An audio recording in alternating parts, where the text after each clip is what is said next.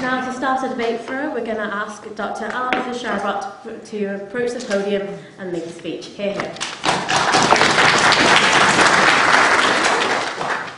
Thank you very much. I should perhaps first say that I'm not here as a Muslim apologetic in order to defend or promote Islam. I'm here as an academic uh, who spent a significant amount of his professional career studying and researching Islam. And I suppose as a proper academic, I will perhaps dissect, deconstruct the motion slightly, problematize it. Um, some might say um, that the motion is in itself problematic. Some might even say it's nonsensical, and not necessarily because the, the actual conclusion, the actual decision is obvious, as the other side might argue. But I would say Islam, as any religion, cannot be peaceful or violent because Islam is not an actor.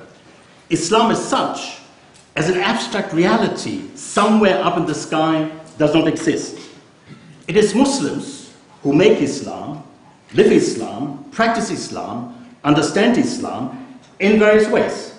Muslims, as human beings, are actors, and it is Muslims who are either violent or peaceful, or who understand their religion to be one of peace or not. And the same is true for other religions.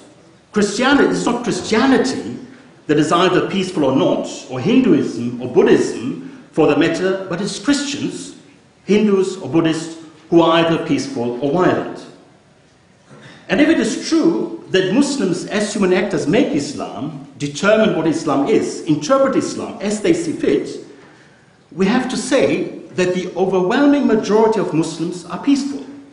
They're peaceful people who want to live decent, ordinary lives, raise their families, pay their mortgage back, try to make contributions to wider society, and coexist with other members of the societies in which they live, whether they're in the majority or in a minority.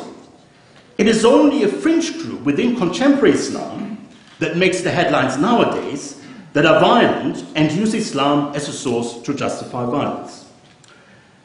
And obviously, we have this debate about you know, whether Islam is peaceful or not, when it comes to other religions, such as Christianity, I mean, do we deny that the majority of Christians are peaceful and that indeed Christianity is a peaceful religion when we see the